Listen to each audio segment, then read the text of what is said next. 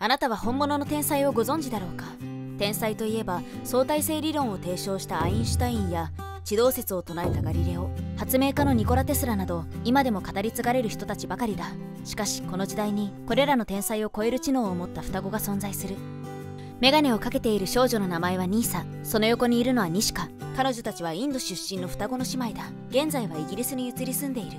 一見どこにもいる明るい女の子に見えるが実はアインシュタインを超えるとされる知能指数を持った天才双子姉妹なのだ。人口の上位2%に属する知能指数を持った人しか入ることが許されない天才集団メンサの試験を受ける2人の姿がそこにあった。イージーね。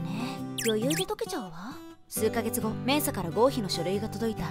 結果はなんと2人とも合格人口の上位2%の知能指数を持った人であると認められたのだ。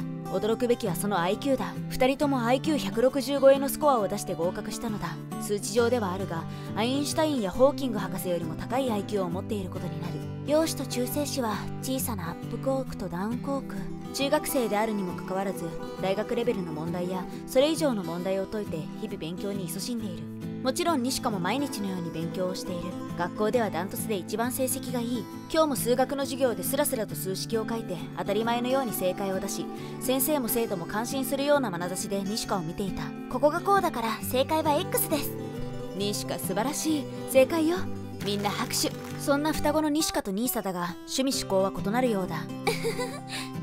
あれ？もう終わり？早く続きを借りなくちゃ。明日図書館に一番乗りで入って借りるんだから。西川読書家のようで英語や芸術に関心があった。一方のニーサは本に目をくれず車の排気ガスはどうしたら無害で安全なものになるのかしら。あそうだわ。こうすれば。できた。完璧よ。これで排気ガスをなくすことが可能になるわ。なんとニーサは車のマフラーに装着するだけで有害な排気ガスを無害で安全なものに変える装置を開発に勤しんでいたのだ。この装置の発明をイギリス女王宛てに手紙を書こうと悩んでいた。うーんなんて書いたら女王の目に留まるかな。中学生の女の子が考えた装置ですって言っても疑われちゃうかな。結局納得いく内容の手紙が書けず今回は断念したようだ。そんな妻女2人だが今日も家族と一緒に楽しく夕食を食べるのが日課になっている。え？今日はカレーライスを食っていいのか？ああしっかり食え。おかわりもいいぞ。こんなごく一般の家庭で育った2人にはどのような教育を施されたのか見てみよう2人は成長が普通の子よりも早かったらしく1歳になる前にはもうよちよち歩きで家の中を歩き回っていた。さらに1歳になった時には言葉も喋れるようになって「バールバール」といつの間にか言葉を覚えていた。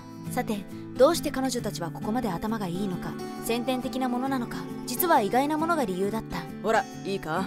こうやってくっつけると階段みたいになるだろ 彼女たち2歳の時父親はレゴブロックでとにかく遊ぶよう促していたレゴブロックによって様々な知識や考えが備わりそれが今につながっているんだという。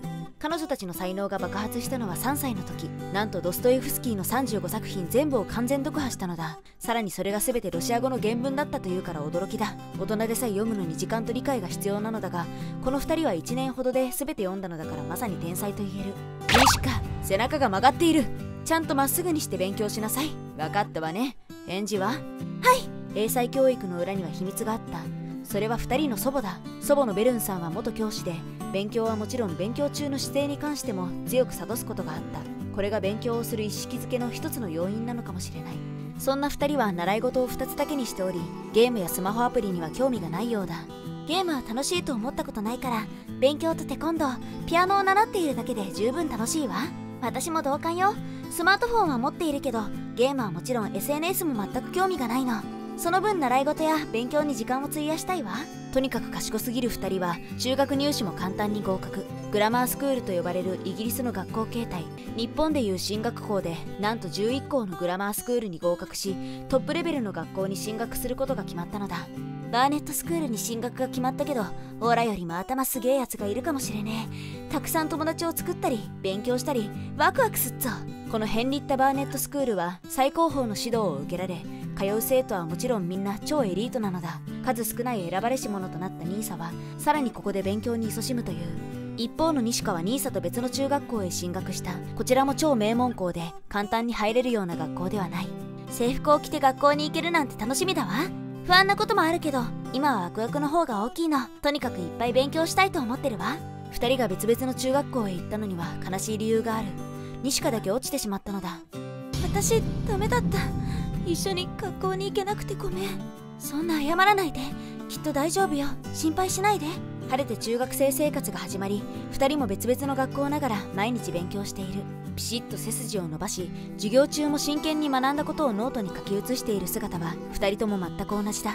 西子は最近テレビで放送している裁判のドラマにすっかりハマって以降法律の仕事に就きたいと思っているらしい。最近スーツってドラマにハマってそれから法律の世界に興味を持っているの。正直これから先どうやったらその仕事に就けるか未定だけどとても魅力的に感じる仕事だからやってみたいわ。一方のニーサは医学の道に進みたいと考えているらしく図書館に行って医学書を読んでいるようだ。しかしどれぐらいの費用と年月がかかるか不安になっているという。私は西香と違って医者になりたいと思っているの。でもお金を稼ぐまでにはあと何年かかるんだろうって考えてばかりよ。この前調べたんだけど最低でも7年はかかるらしいの。困ったわ。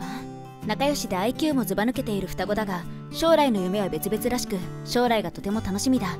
もしかするとアインシュタインやホーキング博士を超える発明で歴史に名を残す偉人になるかもしれない。